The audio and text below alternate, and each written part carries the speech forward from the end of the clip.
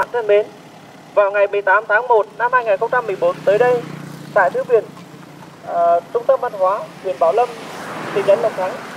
tỉnh Lâm Đồng sẽ diễn ra sự kiện Internet với thanh niên. Tham gia sự kiện Internet với thanh niên, các bạn thanh niên và học sinh sẽ có cơ hội được trải nghiệm những ứng dụng thực tế trên máy tính và Internet để hiểu rõ hơn về máy tính và Internet có thể mang lại những điều bổ ích,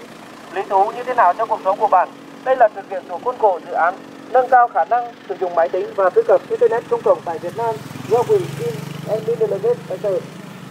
Kể từ khi Internet xuất hiện tại Việt Nam cách đây 25 năm, đến nay Internet đã trở thành một bộ phận không thể thiếu trong đời sống xã hội rất nhiều và nhận thấy những của Internet mang lại.